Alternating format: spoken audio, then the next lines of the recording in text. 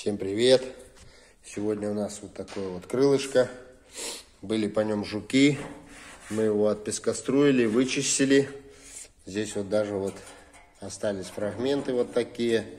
Здесь были дырочки. Вот. Сейчас вам покажу. В этом вот месте были дырочки.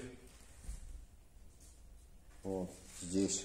То есть, каким образом мы отремонтировали? Все отпескоструили, все вычистили до бела. Э, затем покрыли всю эту внутреннюю часть э, кислотным грунтом.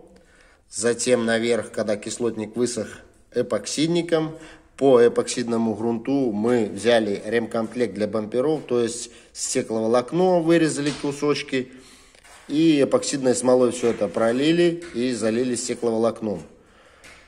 Затем опять мы все это загрунтовали эпоксидным грунтом, все это дело, когда высохло. Потом, ну, тут немножко там, когда подшпаклевали здесь какие-то неровности, шпакля осталось. Сюда еще заполнили, чтобы не было вообще никаких поров.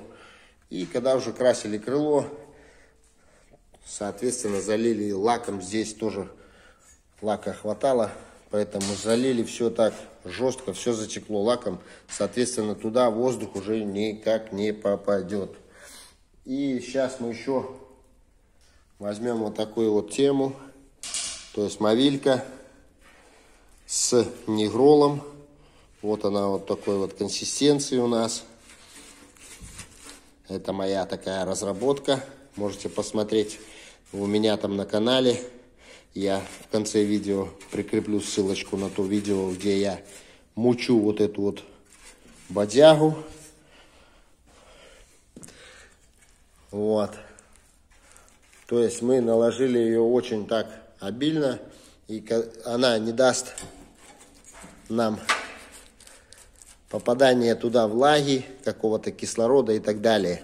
А когда будет солнечно, оно немножко подтает, еще заполнит какие-то поры, и вообще это все будет бомба. Так что пользуйтесь, можете писать комментарии, правильно ли я сделал не стал варить. А вот таким образом я отремонтировал крыло. Всем удачи. Подписывайтесь на канал. Смотрите мои видео. Может что-то подметите для себя интересное. Вот таким образом мы все тут завалили. Я думаю, сюда ни кислород, ни водород не попадет. Нажимайте кнопочку подписаться. Всем хорошего всего, здоровья, удачи.